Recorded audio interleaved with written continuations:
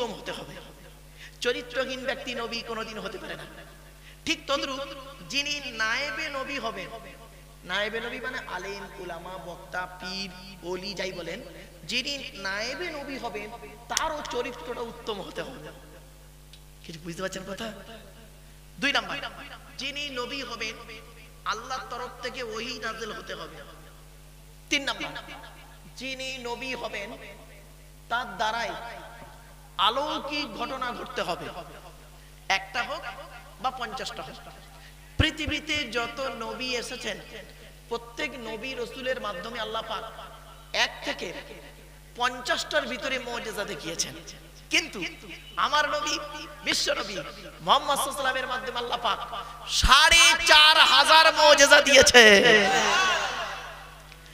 সেই সাড়ে চার হাজার মজেজার ভিতরে সব থেকে শ্রেষ্ঠ মজেজা হলো এই কোরআনুল কারিম নাজিল করা, জোরে বলো।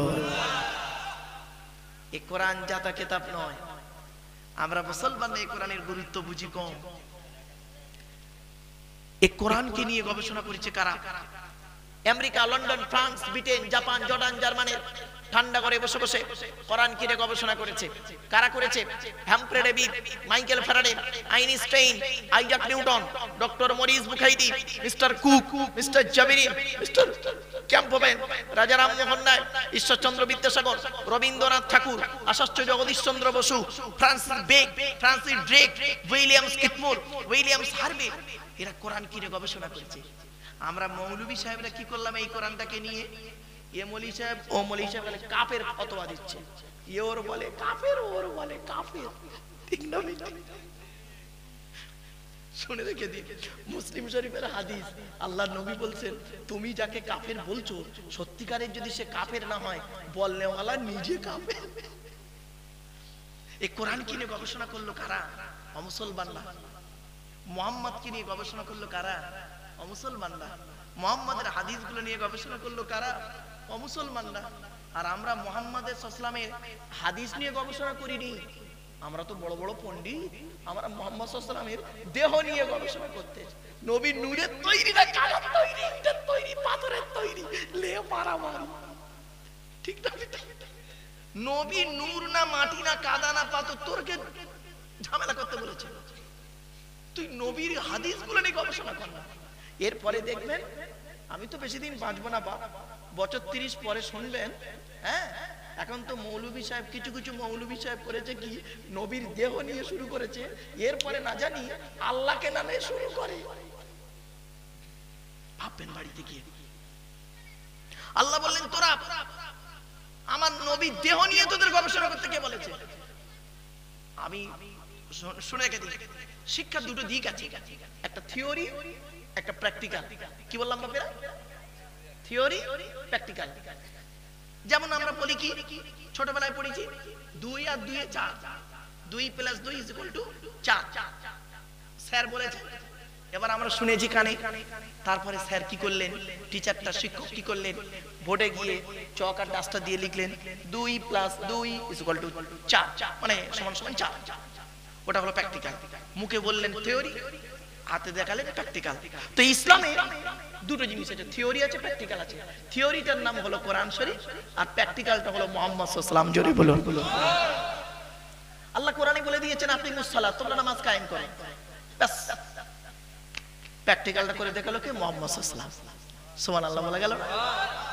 আজকের আমরা এই জিনিসগুলো বুঝিনি গো বাপ। ছোট্ট একটা কথা বলি। আচ্ছা কোরআন কয়টা কেতাব কটা একটা কেতাব মোহাম্মদ কয়জন ব্যক্তি? তো একটা কে কোরআন, একটা মোহাম্মদ থেকে কেন মৌলভীদের মধ্যে এত ঝামেলা? আর যাদের দেখবেন যাদের দেখবেন, তেত্রিশ কোটি দেবতা, তাদের স্টেজে কোনোদিন তাদের বক্তাদের মধ্যে ঝামেলা, মারামারি হয় না। ঠিক না বেটি? যাদের এক, ঝামেলা তো ওদের উচিত, ওদের। ঠিক না বেটি? অনেকগুলো দেবতা। বাস্তব কথা। তার ওদের মধ্যে ঝামেলাটা স্টেজে হওয়া উচিত। এক বক্তা বলবে, আমি এই দেবতার ঠিক ঠিক? ও বলবে এই নয়, ওদের তো বক্তায় বক্তায় মারামারি হওয়া উচিত স্টেজে দুর্ভাগ্যের বিষয়, একটাই আল্লাহর কোরআন আর একটাই ব্যক্তি মোহাম্মদ। সেই একজন ব্যক্তি থেকে আমরা মৌলবীরা এত মারামারি করছি, যার বলে সাধারণ লোক কোথায় যাবে খুঁজে পাচ্ছে না আল্লাহ। আফসোস। কারণটা কি জানেন? কারণটা একটাই। অ্যানালাইসিসের অভাব। অ্যানালাইসিসের অভাব। সঠিক জিনিসটা আমরা মূল্যায়ন করতে পারিনি। আমরা ওই কি মূল্যায়ন করেছি? একটা ভুল বের করে দিয়ে দেখুন। আমি আমি হলাম বাবা নেগেটিভ পজিটিভ বক্তা আগে থেকে বলে দিচ্ছি। নেগেটিভ পজিটিভ বক্তা কীরকম একটু খুলে বলে দিই। গ্লাসটা দেন না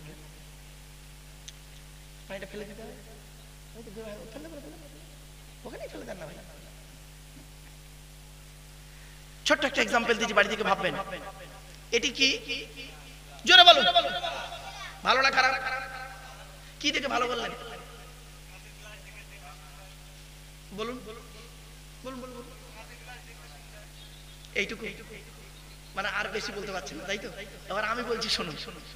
স্বচ্ছ, পরিষ্কার, ফাটা নেই, নোংরা নেই, মানুষ এতে পানি পান করে, তাই বললেন ভালো। তাই না? এটা হলো জেনারেল ব্যাখ্যা। এটা জেনারেল ব্যাখ্যা। ধর্মীয় ব্যাখ্যাটা কি? এই গ্লাসে পানি পান করলে হালাল, দুধ পান করলে হালাল, চা পান করলে হালাল, মধু পান করলে হালাল, মদ পান করলে তাহলে পাত্রটা ভালো ব্যবহারের উপরে নির্ভর করছে হারাম আর হালাল। কিছু বুঝে আসছে বাবা আমার ওয়াজ? আচ্ছা টান টন দিচ্ছে না বলে প্রবলেম হচ্ছে? হ্যাঁ হ্যাঁ। একটু দাঁড়ান, মালটা একটু গরম হয়ে যাক, টেনে টুনে ছেড়ে ছাড়াই দিচ্ছে, একটু ঠিকঠাক করে দাঁড়ান বাবা। আমি আগেই বলে নিই বাবা, আমি তেমন কোনো বড় আলেম নই, তেমন কোনো বড় বক্তা নই। আমি মনে করি, আমার জ্ঞানটা হলো সীমিত কিছু বই পুস্তক অক্ষর সিলেবাসের জ্ঞান, আর আপনাদের জ্ঞানগুলো হলো বিভিন্ন রকম কোয়ালিটি কোয়ান্টিটি বক্তার বক্তব্য শোনা জ্ঞান। আমি মনে করি, আপনাদের জ্ঞানগুলো হলো প্রশান্ত মহাসাগরের মতো জ্ঞান, আর প্রশান্ত মহাসাগরের উপরে ছোট্ট একটা কলসির মতো আমার জ্ঞান। আমি আপনাদের জ্ঞান দিতে এসেছি, এটা যেন কোনোদিন ভাববেন না। আমি আপনাদের জ্ঞান দেওয়ার ক্ষমতা রাখি নাই। পেশাগত দিক থেকে বর্তমানে আমি একজন উচ্চ মাধ্যমিক, হাই মাদ্রাসার শিক্ষক। কলেজ এবং ইউনিভার্সিটির ছেলে মেয়েও পড়াই কাছে কাছে আমাকে একজন ছাত্র বলতে পারে, কারণ পিএইচডি বা ডক্টরেট করতে গেলে কন্টিনিউ পড়াশোনা করতে হয়।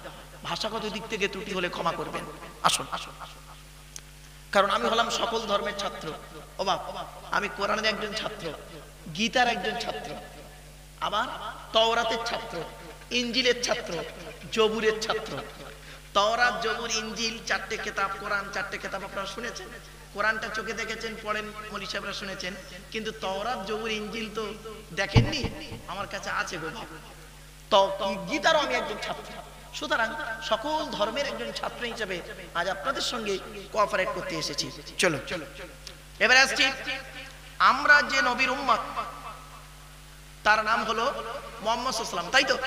আচ্ছা তিনি কোন বংশে জন্মগ্রহণ করেছেন? কুরাইশ বংশে। কুরাইশ শব্দটা কোথা থেকে একটু দেখে নিই। করসুন শব্দ থেকে এসেছে কুরাইশন এটা ইসমে তাজগির বলে একটা শব্দ আছে, ইসমে তাজগিরের সিগা। ছোট করে বলা। তো করসুন শব্দের অর্থ হলো ব্যবসায়ী ব্যবসায়ী, বণিক, চরিত্রবান, আদর্শবান ইত্যাদি। মোহাম্মদ ইসলামের একজন পিতা ছিলেন। মানে বাপের বাপের বাপের বাপ। তার নাম ছিল ফিগি। কি বললাম বাবা? ফিগি।